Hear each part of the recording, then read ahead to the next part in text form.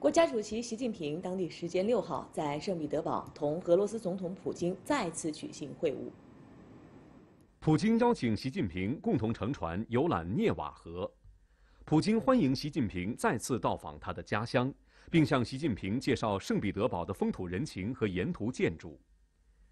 习近平表示，很高兴访问普京总统的家乡圣彼得堡，这里景色优美，文化艺术氛围浓厚。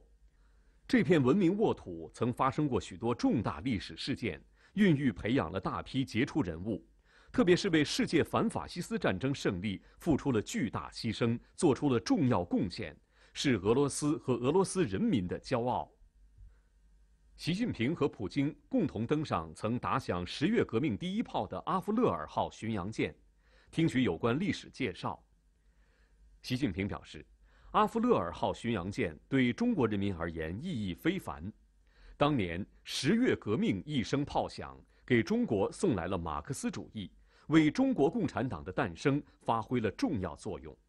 此后，正是在中国共产党的领导下，中国人民前赴后继，取得了中国革命和新中国建设的巨大成就。俄方完好地保留了阿夫勒尔号巡洋舰，体现着对历史的尊重。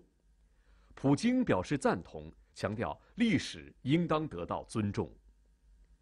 两国元首一边欣赏着沿岸风光，一边畅谈这座古老城市的历史和今天，一致同意要促进中俄人文交流，加深两国人民相互了解和友谊。普京欢迎更多的中国游客来俄罗斯及圣彼得堡。随后，两国元首来到东宫继续长谈。就当前国际形势及重大国际和地区问题进一步深入交换意见。习近平强调，当前中俄两国都处在国家发展、民族复兴的重要历史阶段，在当前形势下，双方要深化战略协作，这不仅是为了维护中俄两国的利益，更是为了捍卫基本的国际准则和国际道义，维护世界和平、安全与稳定。